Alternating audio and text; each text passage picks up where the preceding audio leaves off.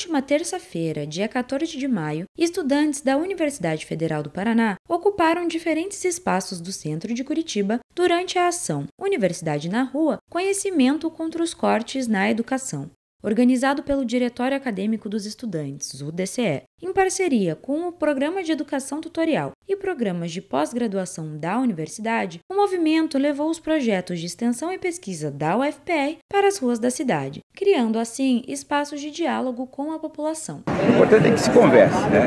Ela, quando ela me interpelou aqui, ela lançou uma ideia, ela mostrou uma ideia e é importante que a comunidade, os cidadãos é, olhem os dois lados. Né? A gente está tendo receptividade da comunidade, assim, tá achando interessante os projetos e muitos têm se admirado do, do como a universidade né, trabalha para fora, como tem coisas que ajudam a comunidade. Além da Rua 15 de Novembro, os alunos e professores também estiveram presentes na Praça Rui Barbosa, na Praça Santos Andrade, na linha de ônibus Santa Cândida Capão Raso e no terminal do Guadalupe, de onde saem os ônibus que fazem conexão com a região metropolitana de Curitiba. E foi este o espaço escolhido pelos alunos do programa de pós-graduação em Geografia para a realização de uma aula pública. Nesse cenário que parece que tentam colocar a universidade contra a sociedade, sociedade contra a universidade. É muito importante a gente se aproximar mesmo, e não só nesse momento, que isso fique também como uma lição para a gente, né?